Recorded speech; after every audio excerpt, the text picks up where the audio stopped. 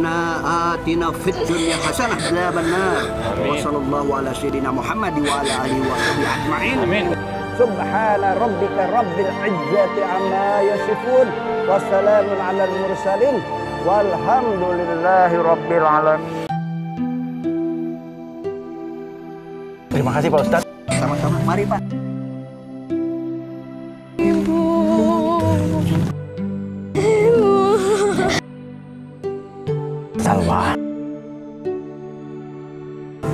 Kamu yang sabar ya nak. Tenang aja. Masih ada Bapak. Akan selalu menjaga dan menyayangi kamu. Ikhlasin Ibu. Baiknya kita berdoa aja ya. Biar ibumu tenang dan bahagia di sana.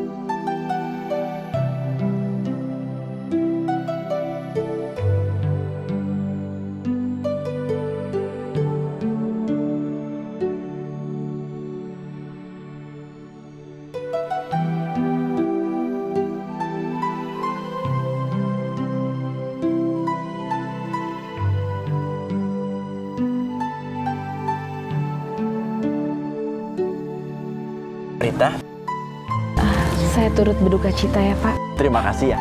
Saya juga mau minta maaf. Kemarin saya belum sempat nengok Hikmah waktu dia sakit.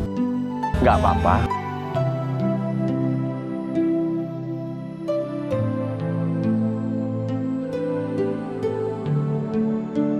Sayang, Salwa, kamu harus tegar. Ya. Ibumu selalu ngeliat kamu.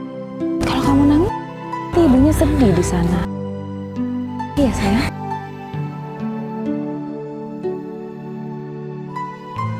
Ah, Pak Rahmat, eh, kalau gitu saya pamit dulu ya Pak. Terima kasih ya. Mari Pak. Papa, makasih ya. Ayo nak.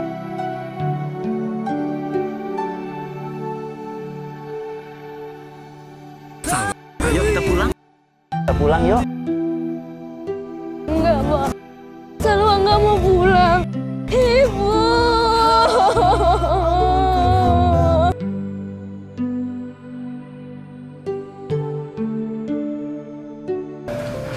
Kita makan nasi goreng dulu ya. Bapak baru bisanya bikin nasi goreng sama nasi putih.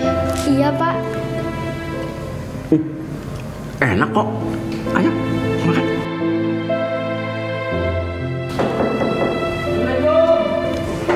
Waalaikumsalam. Biar selalu aja yang buka pintunya.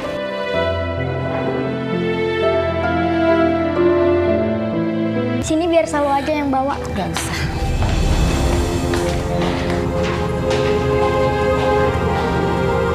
Mas.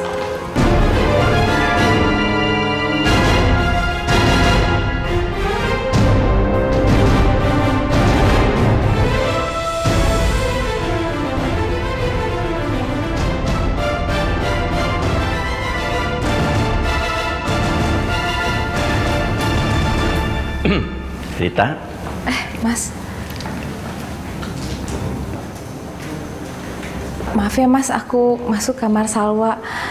Abisnya kepikiran dia terus sih Mas. Aku sebenarnya kesian ngeliat dia. Masih kecil, tapi udah nggak ada ibu. Aku juga tahu, Mas sayang banget kan? Walaupun dia bukan anak kandung Mas. iya. Terima kasih ya, Rita. Ah, Sudah perhatian sama Salwa. Ini belum diselimutin, masih kedinginan nih anak nih.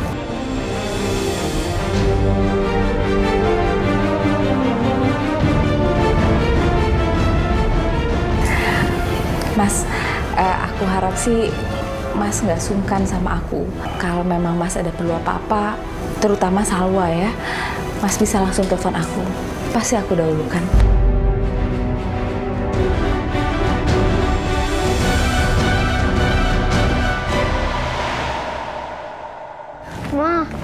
Jauh banget sih pangkalan angkotnya. Itu di depan bentar lagi.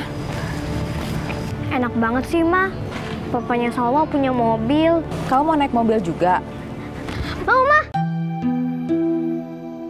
Salwa!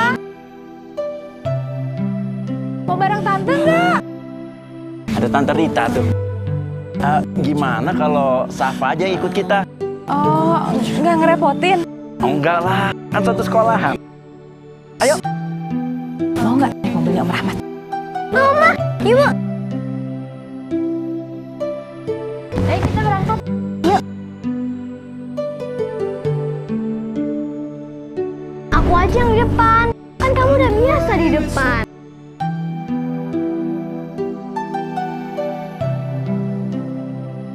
Iya deh, nggak apa-apa. Aku di belakang aja. Makasih ya, Mas. Kamu nggak ikut sekalian? Gak apa-apa, aku ikut. Enggak lah, ayo.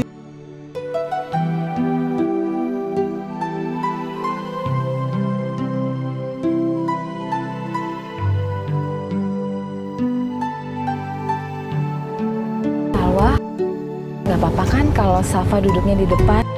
Soalnya Safa belum pernah pergi sekolah diantar naik mobil. Iya, tante nggak apa-apa. Mama, Mama kenapa nggak nikah sama Om Rahmat? kalau Mama nikah sama Om Rahmat, aku bisa ke sekolah naik mobil setiap hari. Iya, Pak. Tante Rita juga baik kok. Dan perhatian sama Papa. Kamu nih ah, ikutan lagi. Mama mau kan nikah sama Om Rahmat? Safa, udah. Mama jadi malu nih. Ah, Mama malu-malu kucing. Kalau urusan jodoh itu kan sudah ada yang atur. Kalian ini masih terlalu kecil buat ngomongin hal gituan.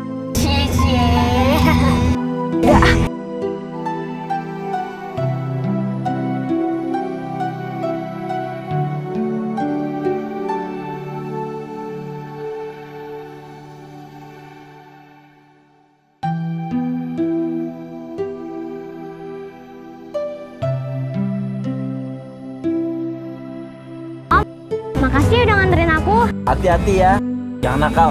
Iya, Pak. Sayang, itu bekalnya dimakan. Jangan jajan ya. Siap, Nah. Iya, Tante. Assalamualaikum. Waalaikumsalam. Salam. Gandengan. Iya, Pak.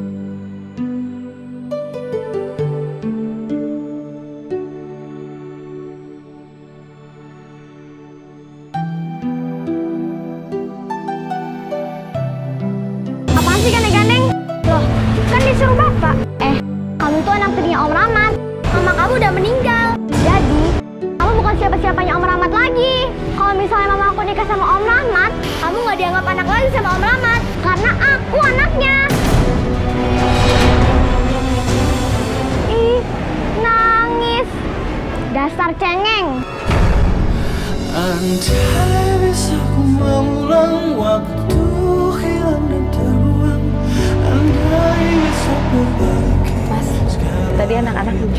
Eh, yang mana ya? Itu yang tadi katanya kita bakal nikah. Oh, ya namanya juga anak-anak. Aku masih belum bisa ngelupain hikmah. Iya, memang pasti berat ya mas. Tapi ya mudah-mudahan aku bisa bantuin ngerawat Salwa supaya dia nggak kehilangan sosok ibunya. Terima kasih ya, kamu baik sekali. Memang dia bukan anak kandungku, tapi aku benar-benar sudah menganggap dia anak kandungku sendiri. Aku kan merawat dia dari bayi. Sabar ya mas.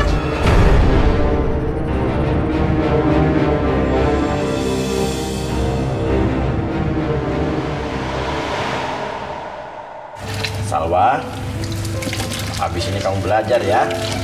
PR-mu kan banyak. iya, Pak. Pak, emangnya Bapak nggak mau punya istri lagi ya? Kenapa sih nanya begitu? Bapak kan berdua sama kamu aja udah bahagia di rumah ini. Tapi Salwa tuh kasihan lihat Bapak. Salwa nggak bisa bantu Bapak. Salwa nggak bisa masak, nggak bisa cuci piring. Gak apa-apa Salwa. Bapak udah biasa kok. Gimana kalau Bapak nikah sama Tante Rita aja? Dia kan baik.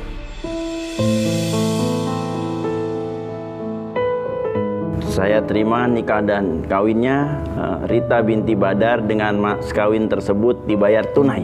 Bagaimana saksi sah? Alhamdulillah.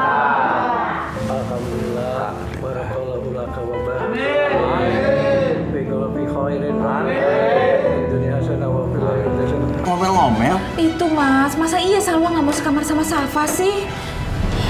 Masa sih? Kelihatannya Salwa baik-baik aja sama Safa. Eh, Di sekolah juga udah akrab kan? Ya kelihatannya. Kalau depan mas Salwa tuh memang begitu, tapi kalau di belakang, aduh, aku nggak ngerti deh mas. Kenapa sih si Salwa tuh sifatnya begitu banget? Apa dia terlalu dimanjain sama Iqmah dulu? Ah, Rita, tolong kamu jangan terlalu keras sama Salwa. Apalagi sampai menyebut-nyebut almarhumah ibunya. Ya orang kenyataannya begitu kok mas. Udah deh mas. Mas inget gak sih mas? Salwa itu anak tiri mas, bukan anak kandung.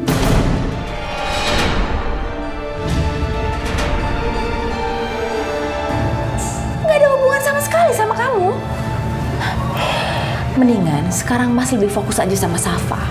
Kan sekarang istri kamu aku. Berarti anak kamu ya Safa, bukannya Salwa.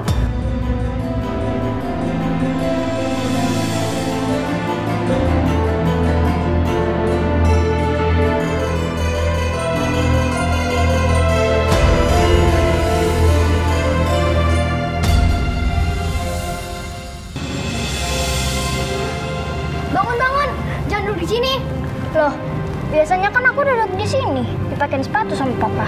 Sekarang Om Rahmat itu udah jadi papa aku. Kamu itu cuma anak tirinya. Jadi jangan ngarap deh. Eh, udah siap berangkat semua? Udah pak. Pak, aku dulu jangan dipakein sepatu. Masa salah terus? Ah, Nggak ada dong pak. ya tenang. Semuanya dipakein sepatu, jangan khawatir.